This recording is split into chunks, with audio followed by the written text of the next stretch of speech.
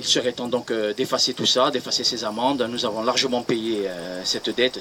Le message d'Antoine Marquini se veut clair. Cet ancien détenu nationaliste, entouré d'une cinquantaine de militants de Padriotti, réclame l'effacement de son amende. Condamné à payer la somme de 177 000 euros de dédommagement suite à des attentats, il se retrouve dans une situation financière difficile. On m'a fait plusieurs fois des relances. Bon, j'ai jamais répondu à ces relances. Et puis ils sont arrivés, ils se sont renseignés, ils sont arrivés à savoir que j'étais au chômage et ils me prennent sur les allocations. Oui, ils me fonctionnent sur les allocations chômage tous les mois. Donc ils me prennent euh, à peu près 130 euros par mois sur, euh, sur des allocations euh, de 900 euros à peu près. Le lieu du rassemblement d'aujourd'hui, la caserne des CRS de Fouriagne, n'est pas anodin.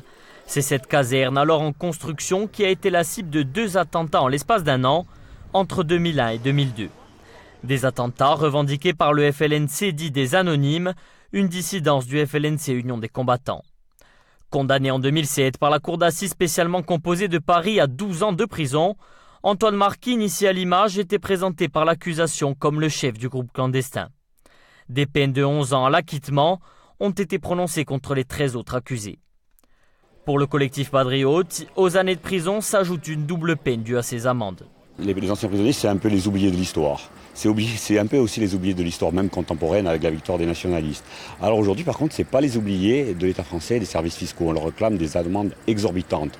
Alors euh, nous, on pense que ces amendes exorbitantes, c'est un message politique, éminemment politique, qui nous est adressé à tous, à toute la Corse. Et nous avons décidé d'y répondre de façon éminemment politique par l'unité de tous les, les anciens prisonniers. Au total, ces amendes s'élèvent à 10 millions d'euros. Il est peu probable que l'État renonce à une somme aussi importante.